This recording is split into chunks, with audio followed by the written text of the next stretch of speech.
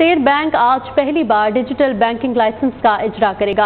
आज पाँच बैंकों को लाइसेंस जारी किए जाएँगे। डिजिटल लाइसेंस के लिए पंद्रह के करीब बैंकों ने इजहार दिलचस्पी जमा कराया था। स्टेट बैंक की जानब से सिर्फ़ पाँच बैंकों को शॉर्टलिस्ट किया गया है। इसी हवाले से मजीद तफसला जान लेते हैं काशिफ मुनीर से। जी काशिफ, बताइएगा। निगम आज स्टेट बैंक की जानब से पहली बार मुल्क में डिजिटल बैंकिंग लाइसेंस का इजरा होगा। पाँच बैंकों को जो है लाइसेंस जारी किए जाएँगे। मुल्क में जो मौजूद बैंक हैं, उनके करीब पंद्रह के करीब ने इसमें इजारा दिलचस्पी जमा कराया गया था। सिर्फ़ जो एक जो टेरिनोर है, उसको जो है वो लाइसेंस मिला। जो मौजूदा कमर्शियल बैंक है, उनमें से किसी को भी जो है वो डिजिटल लाइसेंस नहीं मिल सका है।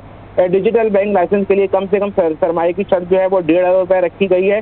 और इब्तदा के तीन साल के अंदर इनको चार अरब रुपए तक सरमाए को लेके जाना है। आम बैंकों की तरह डिजिटल बैंक के लाइसेंस नहीं होंगे और ये जो बैंक हैं, इनकी ऑपरेशनल होने के लिए तकरीबन 2024 का जो है एंड का वक्त आ जाएगा जी। काशिफ मुनीर डिजिटल लाइसेंसिंग के हवाले से अपडेट कर रहे थे। शुक्रिया आपका।